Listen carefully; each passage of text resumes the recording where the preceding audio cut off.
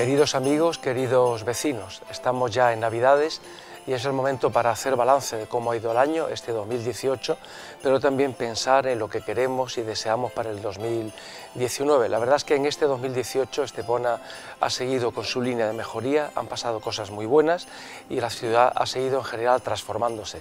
Hemos podido ver, por ejemplo, cómo se abre el mercado gourmet en el centro de la ciudad, cómo se terminó el parking de la Plaza Antonia Carrero, la propia plaza ha quedado muy bien remodelada, conseguimos llegar a las 100 calles eh, mejoradas y transformadas en el centro de la ciudad, el corredor litoral alcanza ya 17 kilómetros por los que podemos transitar, el mirador del Cristo ya está abierto, hay nuevos parques, nuevos jardines, se han mejorado los servicios, la deuda heredada, que fue de 300 millones de euros, en este momento está ya por debajo de los 150, 145 aproximadamente.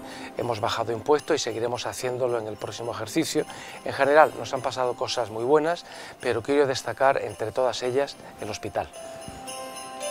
Y en el 2019 pues estoy seguro que van a seguir sucediendo cosas nuevas en nuestra ciudad. De hecho, hemos programado 100 actuaciones para consolidar la transformación de Estepona en los próximos años.